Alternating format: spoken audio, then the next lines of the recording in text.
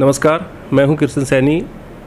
जैसे ही चुनाव की सरगर्मियाँ तेज़ हो रही हैं, जैसे ही चुनाव प्रचार अब नगर पालिका चुनाव के लिए लोगों ने तेज़ कर दिए हैं तो इसी के बीच हमारे साथ एक चर्चित चेहरा मौजूद है, जो पिछले टाइम पे भी काफ़ी सक्रिय थे और चुनाव मैदान में जीत करके भी आए थे।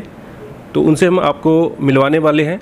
तो हमारे साथ जो आप देख सकते हैं जो नगर पालिका की जो पूर्व प्रधान है, रीना बंटी जी, और जो इनके जो पार्षद पति हैं, सुरेंद्र बंटी जी हमारे साथ मौजूद हैं। सुरेंद्र जी, बताइए जैसे अब की बार चुनाव में क्या रहने वाला है? आप चुनाव मैदान में आने वाले हैं, या फिर ऐसे ही समाज सेवा में आप उतर के लोगों की हेल्प करेंगे? कृष्ण जी, आप लोग को जनता जनार्दन को, आप सबको पता है, पिछले 20 साल से हम दोनों पति पत्नी, आम जन के, हर वर्ग के दुख दर्द में, सुख दुख में शामिल है। और जिसी के परिणाम स्वरूप हम दोनों पति पत्नी पिछली बार दोनों अलग अलग वार्डों से, संपूर्ण वोटों से, अधिकतम वोटों से हम जीते थे, उसी के दबाव पर हम नगर पालिका के प्रधान बने परंतु जो विपक्षी नेगेटिव सोच के जो प्राणी है, जो नेतागण है, जो जनप्रतिनिधि है, जो पार्षद आगे पिछली बार, उन्होंने क्या हुआ? पहली प्रधान बनते ही कि वो कहते हम प्रधान बनेंगे ठीक है राइट है। पिछले पाँच दावेदार थे। J B Saini Babita Saini J B Saini, एक ही बात है, कमलेश साहेल रमेश बोरा, अमित मिश्रा, सोनू सैनी, पाँच आदमी प्रधान की दौड़ में थे, और छठे हम थे दौड़ के अंदर। पाँच आदमी प्रधान जनता को करना था।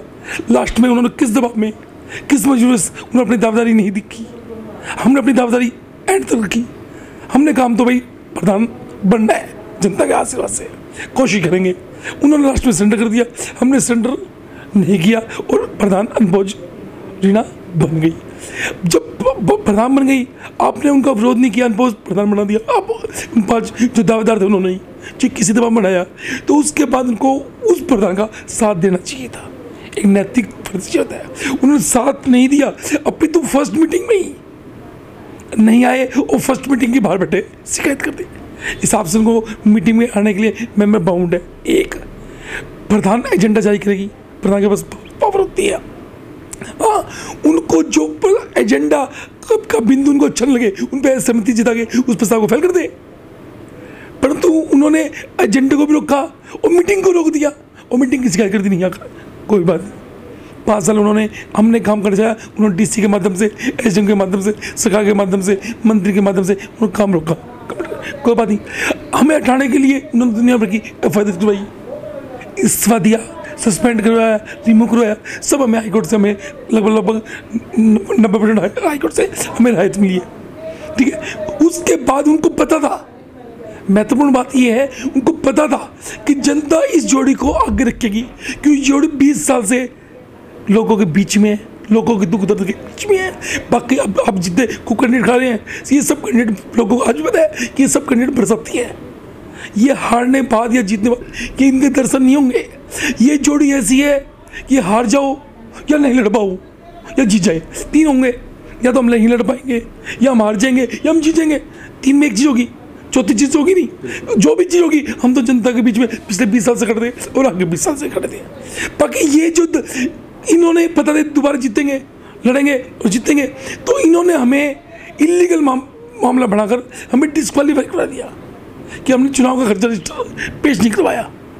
हमने चुनाव का खर्चा रजिस्टर पेश नहीं हमारा खर्चा जमा है रिसिप्ट है रसीद है सब कुछ है।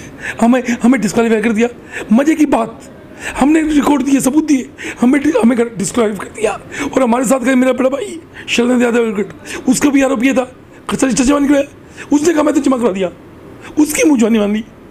उसने मुँह जवानी कहा, मैंने खर्चा रजिस्टर जमा करा दिया। उसकी मुँहजवानी मानकर उसको बहाल कर रखा। उसको डिस्क्वालीफाई नहीं किया सुरेंद्र यादव को मेरा पढ़ाई है। मैं उसकी बुराई नहीं करा। एक फैक्ट बता रहा हूँ। उसको बाहर डिस्क्वालीफाई नहीं किया। बहुत खुशी है हमें। चलो, हमारा सुरेंद्र मेरा भाई बच गया, हमारा पास साथी था। परंतु हमें, हमने तो प्रूफ दिए। हमारे प्रूफ को बैठ करके हमें डिस्क्वालीफाई कर दिया। उसके लिए हमने हाईकोर्ट में लगाई थी। हाईकोर्ट में हमारी हियरिंग थी। हियरिंग के अंदर माननीय कोर्ट ने एक तारीख की डेट दे दी, क्योंकि इन्होंने पहले तो समय मांग लिया, पहले तो कोर्ट से पास ओवर ले लिया। उसके बाद इन्होंने कहा कि हम जवाब देंगे जी। ये ये ये, उन्होंने हमें अनुमति आज नहीं लेने दी। ठीक है, भगवान की तरफ़ से एक तारीख को अनुमति मिल जाएगी और एक तारीख को मिल जाएगी। ठीक है, परीक्षा मांगती है, समय माँगता है सब लोग अपन मीट होता है। चार दिन और वेट करेंगे। हम लोगों से अपने अपने कार्यकर्ताओं से, अपने सपोर्टरों से करेंगे कि वेट करो। बाकी वोट मांगने से वोट नहीं मिलते। वोट तो क्रम करने से मिलते हैं। खाली रिबन काटने से, लड्डू बांटने से वोट नहीं मिलते। हमने तो 20 साल से लोगों के बीच में दुख दर्द में खड़े हुए आगे खड़े होंगे।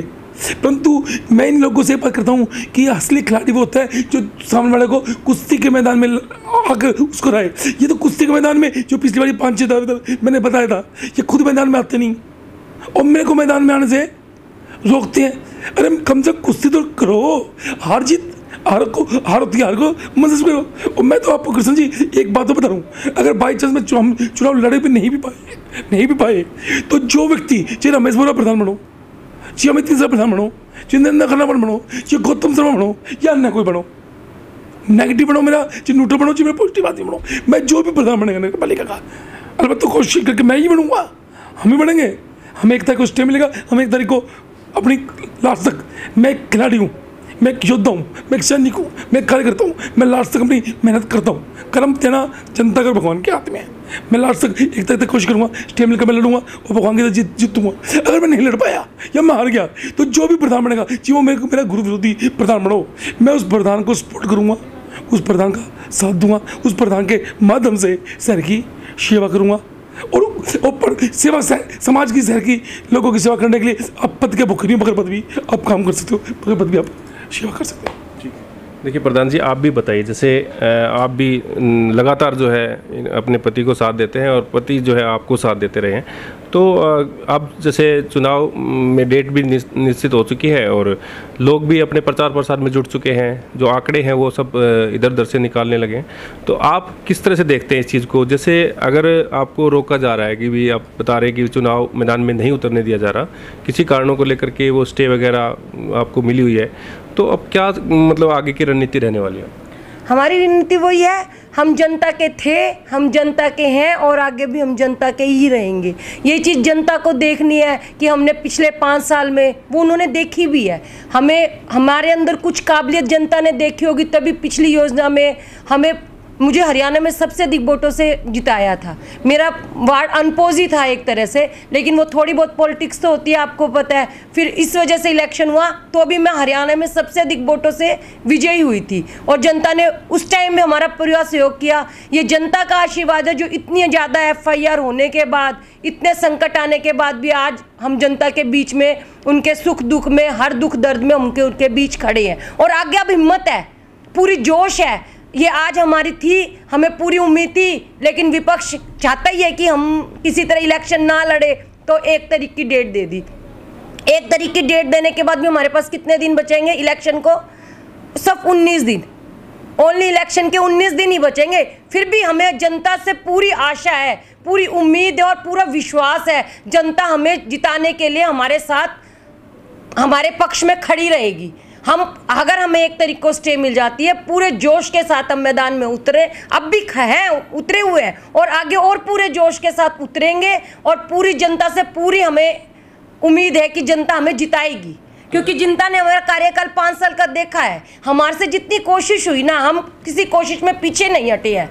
हमने ना किसी से धोखा किया है, ना किसी से गलत व्यवहार किया है, और जो भी हमारे से बन पड़ा हमने करने की, देखो, इंसान कोशिश करता है और हमने कोशिश तन मन धन से की है वो कोशिश। कोशिश कई बार सफल भी होती है कई बार असफल भी होती। है तो ये बताइए जैसे आप जो चुनाव में अगर स्टे मिल जाती है तो आप चुनाव मतलब में उतर उतर जाएँगे तो आप न्यूट्रल रहेंगे निर्दलीय से मतलब चुनाव लड़ेंगे या फिर किसी पार्टी को साथ? नहीं हम निर्दलीय चुनाव ही लड़ेंगे तक हमें पता है हम जनता की है आप, आप, हम जनता हमारी पार्टी जनता। जनता है। इनेलो से भी आपने ज्वाइन किया था हमारी पार्टी जनता है। जो निर्दलीय ही भी आपने हाँ हम जनता की पार्टी टिकट से लड़ेंगे। हम छत्तीस बिरादरी के साथ है, छत्तीस बिरादरी हमारे साथ है। तो हम जनता के बीच में, जनता ही हमें मोटिवेट कर रही है, उसी वजह से हमारे इतना जोश आए हुए है कि अब भी हम इलेक्शन के लिए बिल्कुल हमें पूरी उम्मीद है एक तरीकों में स्टे मिलेगा। अब भी हम बिल्कुल भी निराश नहीं है कि हमें स्टे नहीं मिलेगा, हमें हंड्रेड के टू हंड्रेड परसेंट है कि एक तरीकों में स्टे मिलेगा। ठीक है, जैसे ये बताइए, जैसे अगर मान लो सपोज़ करें कि भी हम स्टे नहीं मिलता है तो आप चुनाव मैदान में नहीं आ सकते तो किसको आप ऐसा चाहते हैं कि उस व्यक्ति को सपोर्ट करना चाहिए? आपकी नज़र में कौन चाहिए वो तो बात की बात है उसके बाद तो क्या होगा? अभी ऐसा कुछ नहीं है। नहीं फिर भी मान लो अगर ऐसा आपके मन में है कि भी। अगर तो- आप आ गए तो आप हैं मान लो। नहीं हम आ गए तो हम हम हम लड़ेंगे बाकी उसका जो भी लड़ेगा जो भी जीतेगा जो भी जीत गया हम उसका समर्थन करें। आपका काफ़ी बड़ा वोट बैंक है अगर कहीं बात करें। कहीं ना कहीं जो धड़ा होता है ना किसी जीत की तरफ़ जाता है तो उसमें काफ़ी प्रभाव देखो उसके बारे में डिसीज़न तो अभी तो कई चीज़ उसके बाद तो वो तो बात की बात है। वो तो चार तारीख के बाद विड्रोल के बाद सात के बाद फैसला ले पाएँगे। अपने कार्यकर्ताओं से पूछेंगे भाई हमें किसका साथ देना? मैं उसका साथ दूँगा जिसको मेरे कार्यकर्ता बोलेंगे। मेरे सपोर्टर बोलेंगे जिन्होंने मेरे को आज भी मेरे से खड़े हैं। अगर मेरे को एक तय को स्टे नहीं मिलता है और मैं वहाँ नहीं भर पाता हूँ तो मेरे जो सपोर्टर है, मेरे जो कार्यकर्ता है, मेरे जो पसंद है, उनके साथ मीटिंग कर कर कि बताओ किसकी सपोर्ट करनी है। वो जैसे कहेंगे उनके सबसे बड़े। थैंक यू तो ये देखिए, ये हमारे साथ सुरेंद्र बंटी और रीना बंटी जी हमारे साथ मौजूद थे और इन्होंने बताया कि जो एक तारीख को अगर इनको स्टे मिल जाता है तो ये पूर्ण रूप से निर्दलीय प्रत्याशी के रूप में चुनाव मैदान में उतरने वाले हैं। तो अब देखते हैं किस तरह का आगे रहेगा। तो जितने भी साथी इस खबर को देख रहे हैं, ज़्यादा से ज़्यादा शेयर करें और इस चैनल को सब्सक्राइब ज़रूर करें। आप बने रहिए एमजन हरियाणा लाइन न्यूज़ के साथ। नमस्कार।